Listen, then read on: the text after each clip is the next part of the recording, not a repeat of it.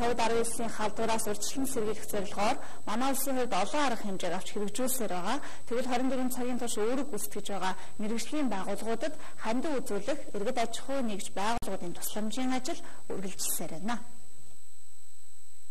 Иргэдийн номноос эрүүл мэнд аюулгүй байдлыг сахин хамгаалахад галын шавман дээр хүчин зүтгэж коронавирусын халдвараас урьдчилан сэргийлэх эрсдэлтэй бүсэд ажиллаж байгаа мэрэгжлийн байгууллага албан хаагч нарт зориулсан хүнсний үйлдвэрийн хамт олон нэгдэж сүүл сэтгэл хандиваа эхлүүлжээ.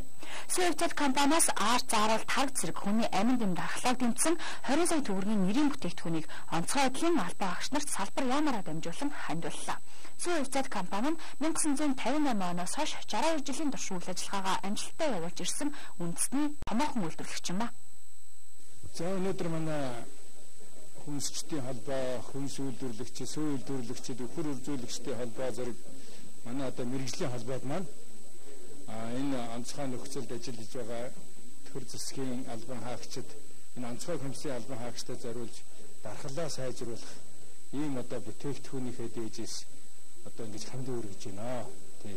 Үйлдвэрүүд манай санаачлах гаргаж энэ чиглэлээр одоо хөрөнгө санхүүгийн дэмжлэг үзүүлж байна. Хамгийн гол нь одоо энэ бол бүтээгдэхүүнээрээ өгдөж байгаа дэмжлэгээ.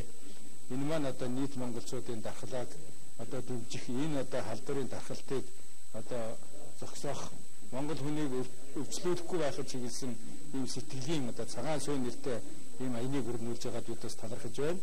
Ингээд энэ одоо арга хэмжээг бид засгийн газар улсын онцгой хэмжээд одоо бас уламжилж гардуулж өгнө.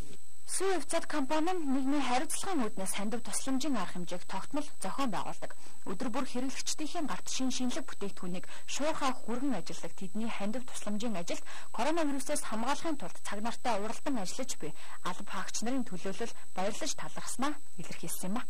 Монгол хүний одоо дархлааг дэмжих хамгийн гол үндсэн хүсэл бол сүүн бүтээгдэхүүн цагаан үдэ. За монголчууд одоо өдөр тутмынхаа хэрэгэлдэг цагаан эдэнээс өөрсдийн бид амин дэм чухал шаардлагатай амин дэм эрдэс амин хүчлүүд өөрийнхөө хэрэгцээг нэхэж нөхөж одоо дархлаагаа дэмждэг.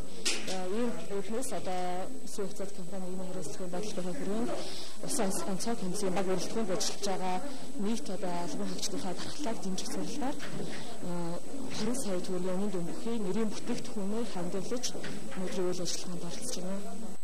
Дэлхийн 140 гаруй улсад COVID-19-ийн халдвар бүртгэгдээд байна. Энэхүү халдвар нь архаг хууч өвчтэй болон дархлаа сул хүмүүст ихэвчлэн халдварлаад байгаа юм а.